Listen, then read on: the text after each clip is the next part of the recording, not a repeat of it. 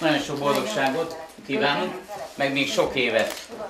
Marika néni elárulta, hogy közvetlen családtagjai közül nyolcan is megélték ezt a szép kort. A titok pedig végtelenül egyszerű. Szeretet volt az egész család, és akkor az, hogy én mindent szerettem csinálni, szerettem, a gyerekeket szerettem, a, az unoka, mindegy, hogy kicsoda a családba. Vagy szomszédok, vagy mit tudom én, haragban nem vagyok senkivel. Mint mondta, most sem szereti a semmittevést, szabad idejében kézimunkázik, sőt nem is olyan régen még tésztát is gyújt családtagjaival. Négy gyermeke, három veje, hat unokája, három unokamenye és hat dédunokája élteti, és az egymás iránt érzett szeretet.